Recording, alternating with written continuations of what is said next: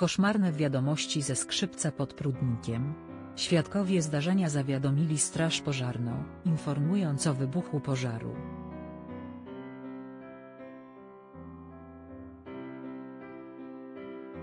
Służby natychmiast udały się na miejsce, ale mimo szybko podjętej akcji ratunkowej życia jednej osoby nie udało się ocalić.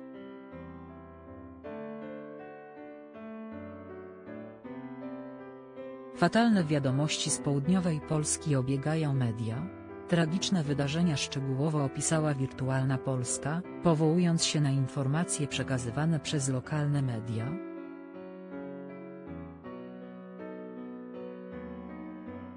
Policja, która zjawiła się na miejscu, wszczęła dochodzenie, a wstępne ustalenia ujawniają potworne okoliczności zdarzenia.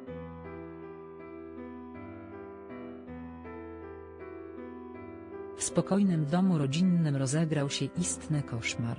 Konieczna była ewakuacja, jednej osoby nie udało się uratować.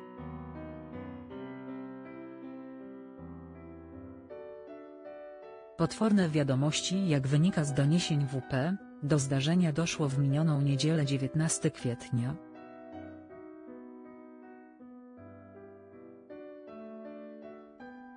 Sąsiedzi domu, w którym wybuchł pożar, zawiadomili straż pożarną.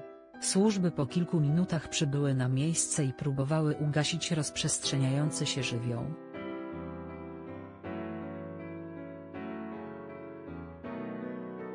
Konieczna była ewakuacja cztery osób.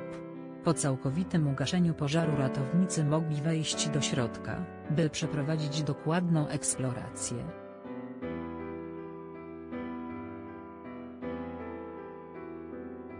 Niestety, po wejściu do kotłowni zastali dramatyczny widok, ciało mężczyzny.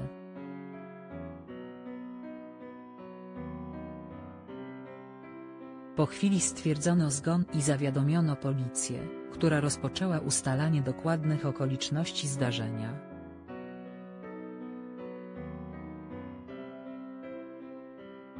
Wstępnie ustalono, że tuż przed tragedią ofiara pożaru próbowała rozpalić w piecu.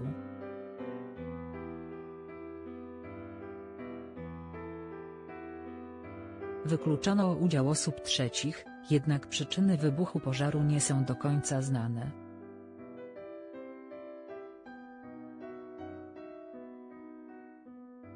Najprawdopodobniej był to nieszczęśliwy wypadek. 2.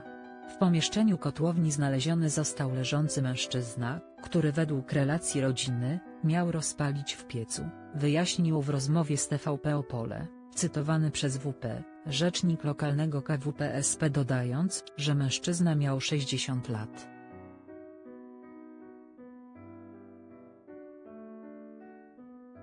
Lokalna społeczność jest wstrząśnięta dramatycznymi zdarzeniami. Widok wielkiej chmury z dymu i płonącego budynku na długo zapadnie w ich pamięci.